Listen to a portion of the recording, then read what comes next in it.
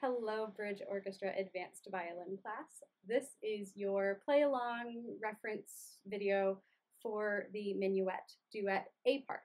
So, just a couple of reminders before you get going that measure 1 through 16, so the first half of the song, has squishy 2 on the A string and squishy 2 on the E string when you get up there. Um, Squishy 2, as a reminder, is when you've got your first finger down. It, that's probably not quite in the right spot.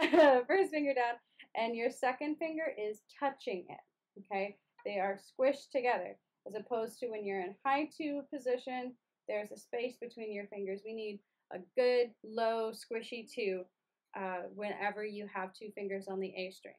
But if you look at the last measure of the first page, you'll see that there's a sharp beside the C and an arrow pointing up drawn over the note.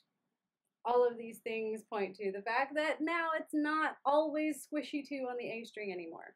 So um, going through the second page, you're going to have to make sure when you see C sharps and when you see C naturals. C sharps will always have a sharp beside the note, and if the C sharp comes back later in the measure, like in uh, the, the last measure of page one. C sharp is the first note, and then you see the note B, and then you see C again, but it doesn't have a sharp beside it.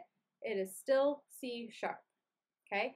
There's a sharp at the beginning of the measure. That sharp carries all the way through to the end of the measure and then resets um, at the bar line. So a quick rundown of the second page. It looks like on the first line, you have high twos on the A string. On the second line, you have low twos. On the third line, you only, you actually only have two uh, second fingers at all, and they're the exact same ones as the measure that was at the bottom of the first page. So these are high twos on the third line. On the fourth line, you have high twos again because that is the exact same as the first line of this page.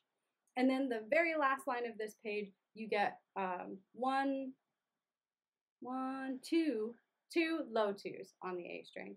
So it kind of alternates. It doesn't look like you ever have to change between low two and high two in the same line. So that's good. Um, so practice those lines kind of slowly and carefully by yourself and then come play along with me. All right, here we go.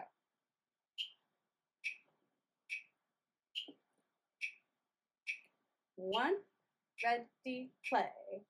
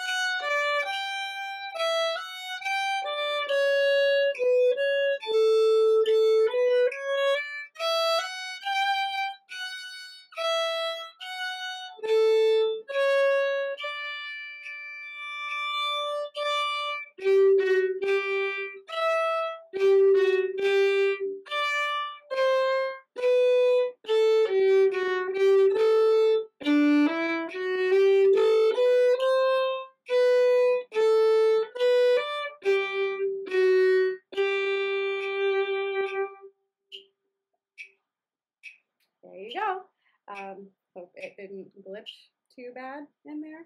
Um, looked like the screen might have been fritzing out. So uh, yeah, there you go. Happy practicing, and I will see you in class.